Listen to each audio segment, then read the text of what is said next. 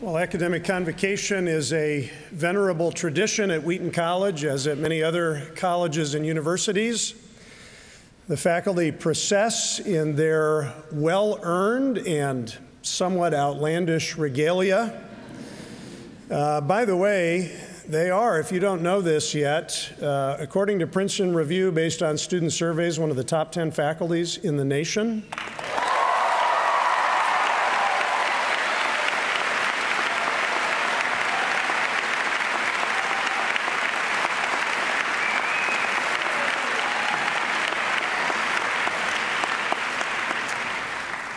And so at Convocation, we gather to uh, celebrate the high purpose of higher education. We have a consecration through Scripture and through prayer. And we ask a really important question Why are we here? What is our purpose? Now, some would answer this question in a utilitarian way. They would be thinking primarily of what job you will do after college, hopefully, a well paying job. I think of the U.S. Secretary of Education, uh, former, who said, We are currently preparing students for jobs that don't yet exist using technologies that haven't been invented in order to solve problems that we don't even know are problems yet. So that's your future, I guess. But for some of you, and, and maybe most of you, questions of purpose will run much deeper than what you do. They will go to the core of who you are. Sometimes you will wonder, why are you here at Wheaton? Maybe for some, why you are here at all. Asking this kind of question is part of growing up. I think it's always been part of the college experience. I was interested to read almost 150 years ago, Harriet Beecher Stowe wrote about this in one of her novels. Um, it's written about the time that Wheaton was founded. Um, you may be familiar with her Uncle Tom's Cabin, which had an influence on the discussion leading up to the Civil War. But um, in addition to addressing the evils of slavery, Stowe wrote on a lot of other topics. And in one of her novels, she tells the story of a student who goes off to college full of high hopes and golden dreams. When I entered college, he said, I was sure that I was good for almost anything. Nothing seemed to me impossible riches, honor, fame.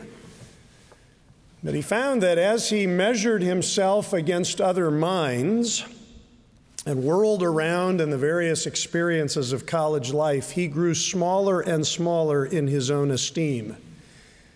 And in lonely hours, his thoughts were full of self accusation. What are you good for?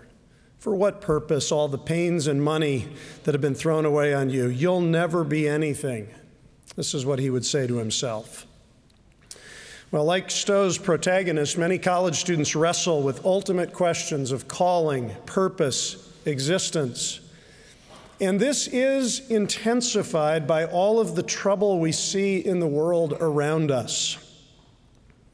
In a world with 60 million refugees who don't have a home to call their own, where acts of terrorism claim unsuspecting victims, as we saw in Barcelona last week, where neo Nazis and anti Semitists and white supremacists are marching on the streets of these United States, Charlottesville, and other places why are you here?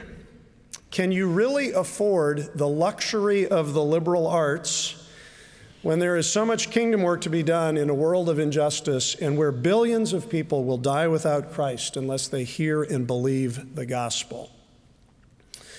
One of the ways that we'll be working on these questions this year is by rediscovering the Reformation and rethinking its implications for the church in the 21st century. There are many good reasons for us to do this. As you probably know, 2017 marks the 500th anniversary of the Reformation in Europe. It was October 31, 1517, that Martin Luther made the post that went viral and changed the world. Uh, 95 theses pounded to the door of the Castle Church in Wittenberg, Germany. Uh, one of the reasons I know this quincentennial is a major world event is because this little plastic Martin Luther has become the highest selling figurine in the history of Playmobil. Uh, Martin Luther, who would have thought? So it's an auspicious year uh, to, to think alongside the reformers in, in chapel and in other places. But there are other good reasons. The Reformation has really always been part of Wheaton's theological identity. In our statement of faith, we identify not only with the ancient creeds, but also with the theology of the reformers. And really, that's been true since Jonathan Blanchard. When Blanchard thought about what he was looking for in his faculty, he said teachers ought to lead students both by prayer and instruction to infuse into the youth a zeal for reformation. And Blanchard wanted to send forth a host of young people, he said, at the sound of whose going the whole land shall tremble. Students who were willing even to face martyrdom for the cause of Christ. And Blanchard's inspiration for that went in part back to Luther and the reformers. He, he believed what they believed. The Bible is the only ultimate authority for the life of faith. We can only be saved by the grace of God, justified by faith alone in Jesus, by His work for us, not any work that we do for Him. Also, beautifully encapsulated in our year verse, one of Luther's favorite texts on the power of the gospel and what it means to live unashamed for the gospel and to recognize that the righteous will live by faith. Jonathan Blanchard believed that this powerful gospel makes a practical difference in the world. His gospel centered Reformation theology motivated him and his wife to open their home and their college to all people of all races from all countries for Christ and his kingdom. He wanted to see an immediate end to slavery in the United States, and at the same time, to see missionaries go out and preach the gospel to all nations. And as we remember the Reformation this year, telling, I think, some forgotten stories about their commitment to evangelism and social justice, seeing how they used social media to spread the gospel, what they did for refugees and the poor, we will see that in looking back, Jonathan Blanchard was setting his college on a course for the future. The needs of our world are as great as ever. We need students who work for peace and justice in Chicago. So sad to read that just this last weekend, 60 people shot in the city of Chicago, nearly 10, 10 of them fatalities. We need the love and truth of Jesus across America in every place, every community where racism tears apart society. And all of this is why we need Christ centered liberal arts education. It's why we're here. At least that's what the reformers would say, because this is the kind of education they believed would make a difference in the world. I wonder if you knew that, that the reformers were champions for the liberal arts. Uh, some people tried to tell Martin Luther that really all that was needed was to teach people the scriptures, and Martin Luther said, No, we need the liberal arts. We need the learning of the ancient world, its language and literature. Luther said he regretted not reading more poetry at university and more history. He didn't want his own students to miss out. In fact, his desire uh, he wrote in one place was to produce as many poets and rhetoricians as possible. Let's hear it for English majors and communication majors. And Luther said he, he wanted students not only to learn languages and history, but also singing, instrumental music, the whole course of mathematics. It's, it's an expansive, yeah, mathematicians as well. Uh, it's an expansive vision for the life of the mind. And you read the same thing in John Calvin. As he, in fact, he wrote about the liberal arts in his big systematic theology, his famous Institutes of the Christian Religion. Calvin had studied at the University of Paris, one of the oldest universities in Europe, founded on distinctively Christ centered principles. And he believed that studying the full range of the liberal arts will help us understand more deeply the secrets of divine wisdom. All of the arts emanate from Him as divine inventions, Calvin said. These are the Lord's freely offered gifts to humanity. And given what the reformers said about the liberal arts, it's not surprising that the Reformation had a big influence on higher education. Uh, it's interesting to chart the numbers. At first, there was a dip in enrollments, because the reformers were very critical of the uh, theology that was taught in those days in some of the universities of Europe. But rather than abandoning those schools, Luther and his colleagues wanted a reformation of education. They wanted an influence in those schools and they wanted to begin new ones. More students were going to college as the gospel began to have a growing influence, the numbers tripling during the 16th century. Most of them were between the ages of 15 and 30. It was a, a, bigger spectrum of the age group than we see on our campus. Many were international students. They would travel from one country to another in search of the best education that they could find. During the Reformation and afterwards, Christians were not considered intellectually inferior the way sometimes they are today. Truly, they were on the cutting edge of global education.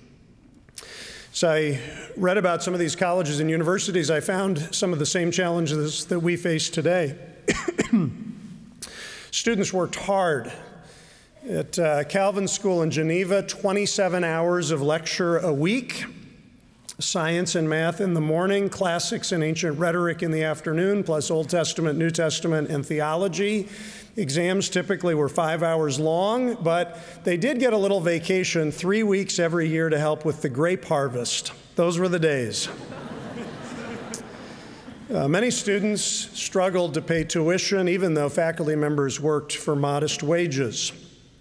As a result of this and other challenges, fewer than half of incoming students made it all the way to graduation. The graduation rates were much lower then, even than they are across our country today. But what they learned for as long as they were there made a difference. Scholars debate and will continue to debate, I'm sure, what effect the reformers have had on world history. Some of their influence was intentional, a lot of it wasn't. Much of their influence has been very positive, some less so. But most scholars agree that the Reformation touched every area of life, and it continues to have that kind of influence today, not just in the West, but around the world. China and Korea, Nigeria, Brazil, these are places where Reformation ideas are having an influence.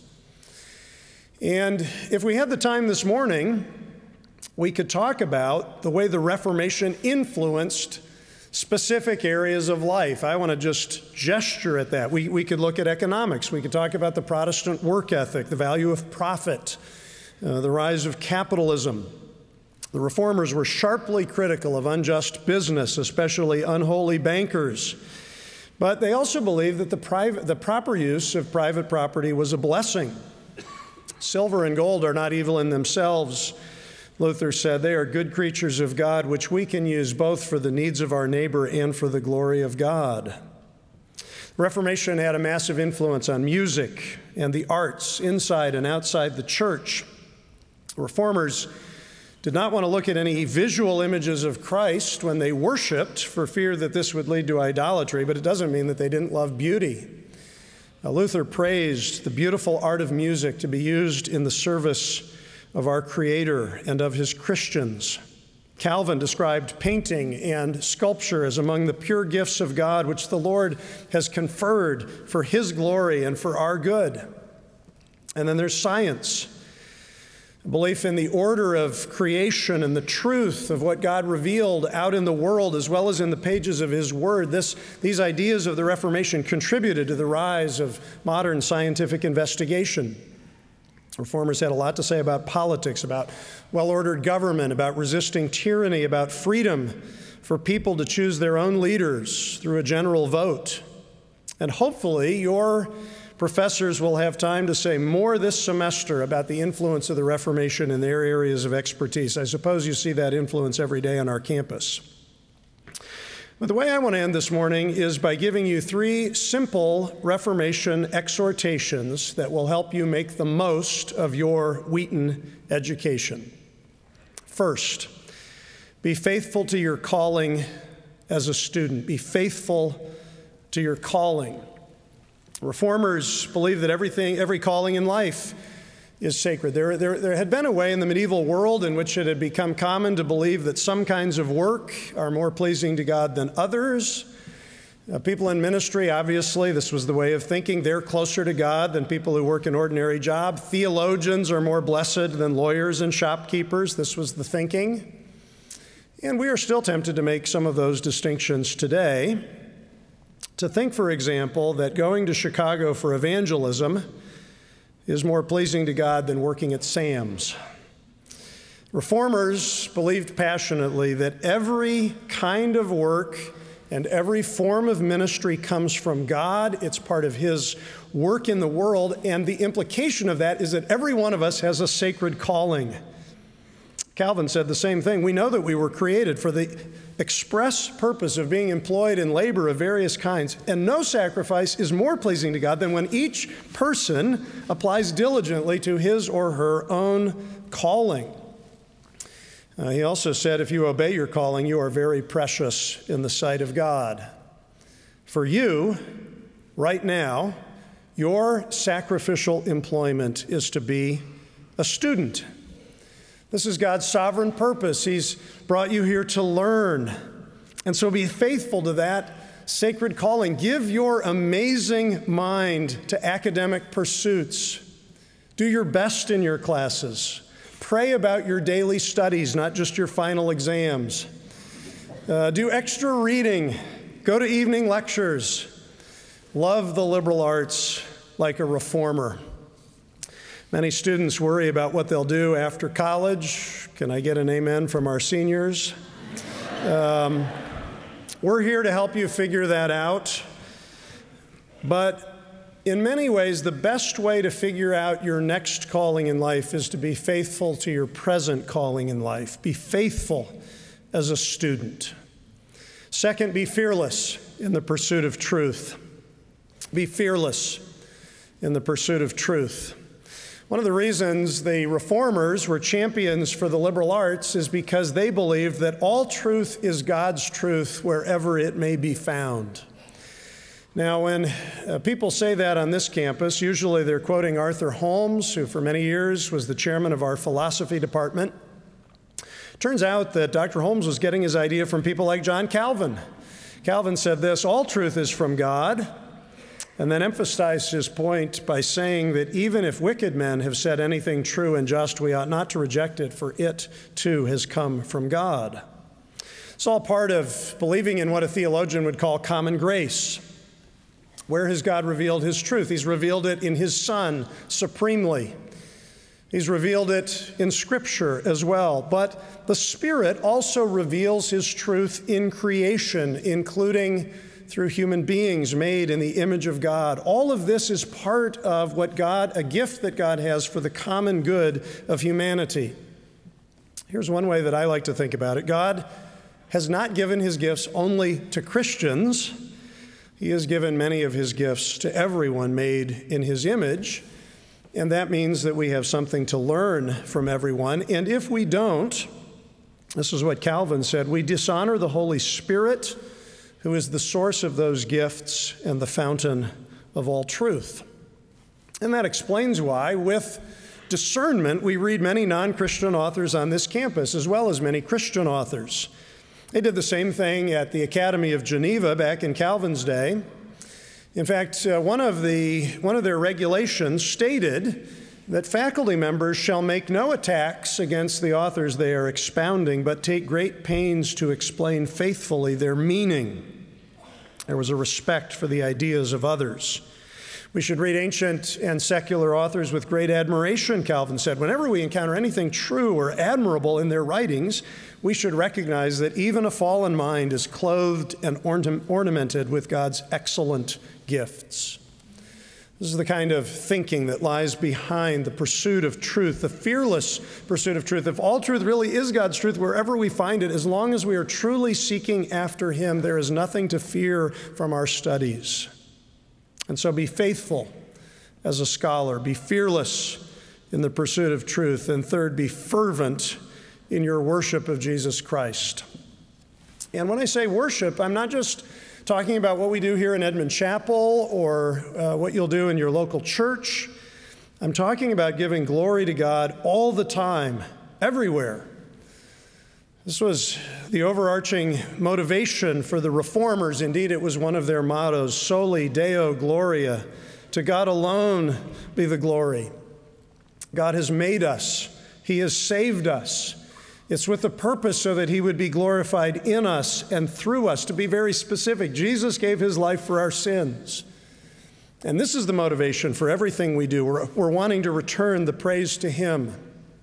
When we speak the truth, or care for the poor, or give people the gospel, or seek racial justice, or play the timpani or set up a teammate to score a goal, or run on the prairie path, or decide whether we're going to do things our way or our roommate's way. All of these are opportunities to honor our Savior. And we should have the same goal in our studies. When you go to class or work in the lab or visit the library or go to the studio or sit at your desk or swing in your Eno or wherever you do your best academic work, Make that place a sacred space. Set up an altar in your studies for the glory of God. Be like those scholars at Calvin's Academy who promised, I guess this was their version of the community covenant, that they would pursue their studies in all modesty and honesty to the honor of God. That's a good summary of the calling and motivation of a Christian student in all modesty and honesty to the glory of God. Well, it seems appropriate to close with a quotation from the astronomer Johannes Kepler, who in 1605 gave the first scientific description of a total solar eclipse. So this is very topical, but it's also relevant to our theme this morning as a child of the German Reformation, Kepler assumed that God wanted him to be a pastor in a Lutheran church. But a strange thing happened as he gave himself to his studies. He fell in love with science, and it led to a spiritual struggle. I wish to be a theologian, he said.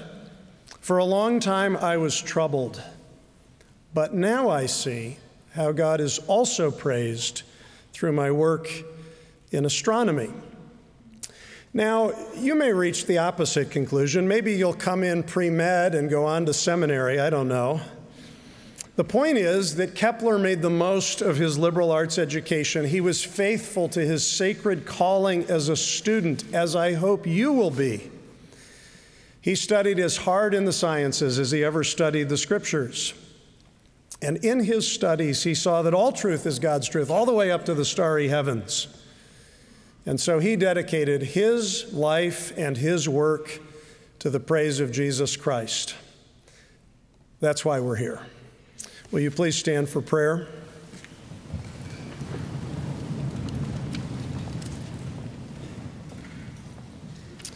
Lord, we've been consecrated, we've been set apart, we've been prayed for.